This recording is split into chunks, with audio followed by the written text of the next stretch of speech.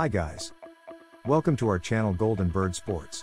In this video, we will preview the head-to-head stats of the English Premier League's match between Nottingham Forest versus Everton. Watch this video till the end to analyze and please make sure you give your valuable reviews and predictions below in the comment box. So, let's start.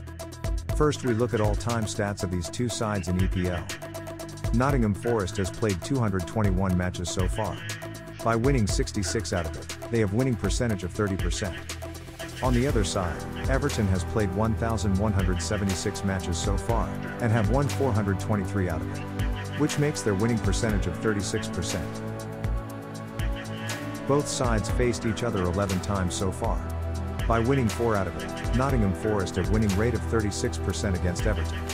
On the other side, Everton have winning percentage of 20% as they have won 12 out of the 61 matches they have played against Nottingham Forest. Everton is slightly ahead of the Nottingham Forest on the basis of stats so far. Nottingham Forest have star players like Taiwo Awoniyi, Jesse Lingard, and Brennan Johnson. On the other side, Jordan Pickford, Alex Iwobi, and Seamus Coleman are in the star players list of the Everton. If we make a look at current season's top scorer of both sides, then Nottingham Forest have Brennan Johnson, who has scored 4 goals in 24 matches, and have an average of 0.21 goal per match. And Everton have Anthony Gordon, who has scored 4 goals in 22 matches with an average of 0.18 goal per match. And at goalkeeper's side, Nottingham Forest have Keylor Navas, who have one clean sheet and conceded 7 goals in 4 matches and Everton have Jordan Pickford, who have 5 clean sheets and conceded 32 goals in 23 matches.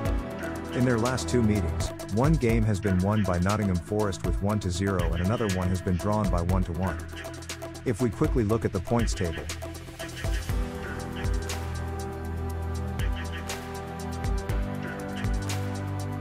Nottingham Forest is on 13th position.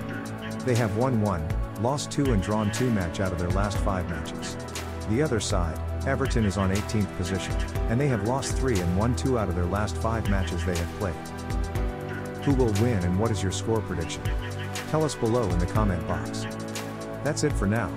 Subscribe our channel and don't forget to hit that notification bell icon so that you can get the latest sports updates and news. Thank you so much for watching it. See you in next video.